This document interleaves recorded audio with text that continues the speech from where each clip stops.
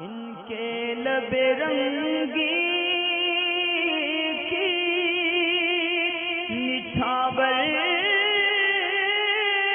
थी कि जिसने असलकम वरहमतुल्लाहि वबरकatuh मसाइल शरीयत ऑनलाइन इस्लामिक टेस्ट के सीज़न फ़ोर में टेस्ट नंबर फाइव के सवाल जवाब इस तरह हैं। कुरान पाक के मुतालिक ही जो है वो टेस्ट था। और इसमें क्या क्या सवाल पूछे गए थे? टेस्ट में मैं बता देता हूँ, रिज़ल्ट रिज़ल्ट वेबसाइट पर आएगा। और बाकी इन्फॉर्मेशन इस वीडियो के लास्ट में। कुरान पाक के मुताबिक अल्लाह तबारक व ताली से उसके बंदों में कौन डरता है?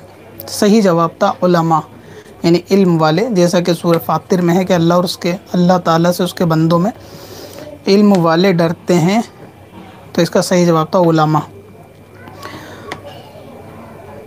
अगला सवाल था, कुरान में अल्लाह ने ईमान वालों के साथ किसके दर्जे बुलंद फरमाने की बात की?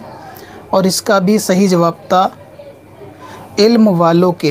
कि अल्लाह तबारक बताला ईमान वालों के और उनमें इल्म वालों के दर्जों को बुलंद करता है। तो ये सूर्य मुजादिला के अंदर जो है, इल्म वालों के दर्जे का, सही जवाब इसका, इल्म वालों के दर्जे।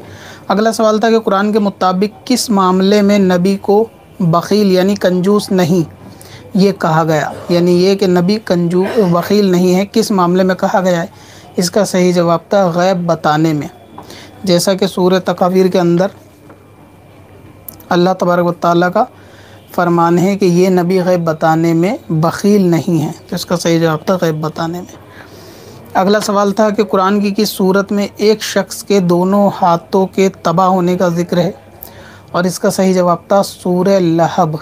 सूर लहब के अंदर ये है, ज़िक्र जिसका तर्जुमा ये है कि तबाह हो जाएँ वो लहब के दोनों हाथ। अगला सवाल था, इनमें से कुरान की किस सूरत में ये ज़िक्र है कि ना अल्लाह किसी की औलाद, ना अल्लाह की कोई औलाद? यानी ना वो किसी का वालिद, ना उसका कोई वालिद, ये ज़िक्र किसमें है? इसका सही जवाब था सूर अखलास में। लम यलिद वलम यूलद। ना वो किसी से पैदा हुआ, ना उससे कोई पैदा हुआ।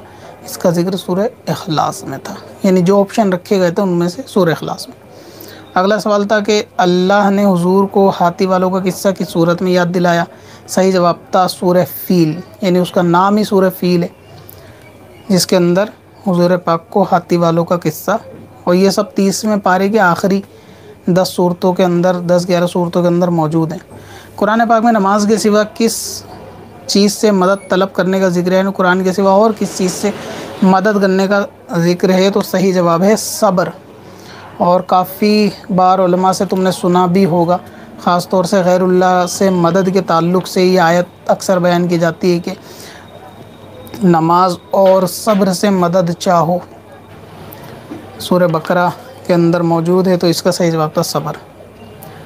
अगला सवाल था कि कुरान के मुताबिक इनमें से अल्लाह किन लोगों के साथ है? और इसका भी सही जवाब था सब्र वालों के साथ। ये उसी का अगला हिस्सा है आयत का, पिछले सवाल का, यानी सूर्य बकरा में कि नमाज़ और मदद से सब्र चाहो, बेशक अल्लाह सब्र करने वालों के साथ है। उसका सही जवाब था, अल्लाह सब्र करने वालों के साथ है। जो ऑप्शन थे, ये उन ऑप्शन में से सही जवाब है, लेकिन ऐसा नहीं है कि कुरान में बस यही ज़िक्र है कि अल्लाह सब्र करने वालों के साथ है, अल्लाह मुत्तकियों के साथ भी है, मोमिनों के साथ भी है तो वो एक अलग चीज़ है, कोई इसका अगर अगेंस्ट कोई ऑप्शन लेकर आए मगर जो ऑप्शन पूछे गए थे, उनके मुतालिक ही जवाब देना था। हालाँकि इनके अलावा भी बहुत सारे लोगों के साथ अल्लाह ताला होता है, लेकिन सब्र वालों के साथ वो आयत का वहाँ पर ज़िक्र था ऑप्शन में। अगला सवाल था कि जन्नत की नहरों की मिठास की मिसाल कुरान ने किस दुनिया की चीज़ से दी है और इसका सही जवाब था शहद। यानी ऐसी नदियाँ दूध की मिसाल दी, यानी और शहद की तरह नदियों की मिसाल दी। तो इसमें जो है वो उसकी मिठास की मिसाल शहद से दी गई। आखिरी सवाल था कि कुरान के मुताबिक मर्दों को एक वक्त में कितने निकाह करने का हुक्म आया है और इसका सही जवाब चार निकाह करने का हुक्म आया है। और ये थे ऑनलाइन इस्लामिक टेस्ट सवाल जवाब के टेस्ट नंबर फाइव के। जो लोग नए पहली मरतबा इस वीडियो को देख रहे हैं, अगर वो इस टेस्ट में हिस्सा लेना चाहते हैं तो सैटरडे यानी हफ़्ते की रात 9 बजे, फ़िलहाल सर्दियों में 9 बजे टेस्ट टाइम होता है। टेस्ट की साइड होती है S M S Farsi dot com slash test हर सीज़न के अंदर 10 टेस्ट होते हैं, हर टेस्ट 10 नंबर का होता है और 10 सीज़न यानी एक सीज़न में 10 टेस्ट में मैक्सिमम मार्क्स लाने वाले लोगों को इनाम की रकम भी दी जाती है। तो ज़्यादा से ज़्यादा जो लोग इस टेस्ट में हिस्सा लेना चाहते हैं, उनका सुन्नी आवाम में से होना ज़रूरी है। कोई दरस निज़ामी से ना हो दरस निज़ामी कम से कम तीन साल से ऊपर वाला स्टूडेंट ना हो इसमें शामिल ना हो, आवाम के लिए टेस्ट है। और हफ़्ते को रात नौ बजे टेस्ट खुद ब खुद वेबसाइट ओपन होगी। आप रिफ़्रेश करेंगे तो टेस्ट ओपन हो जाएगा। इसमें पार्टिसिपेट कैसे करना है? करेक्ट टेस्ट के टाइम पे टेस्ट लिंक पर पहुँचे। टेस्ट का लिंक कम्युनिटी में दिया जाता है। जैसे ही टाइम उसको रिफ़्रेश करें, एक पेज खुलेगा, वहाँ पे अपनी कुछ डिटेल भरें।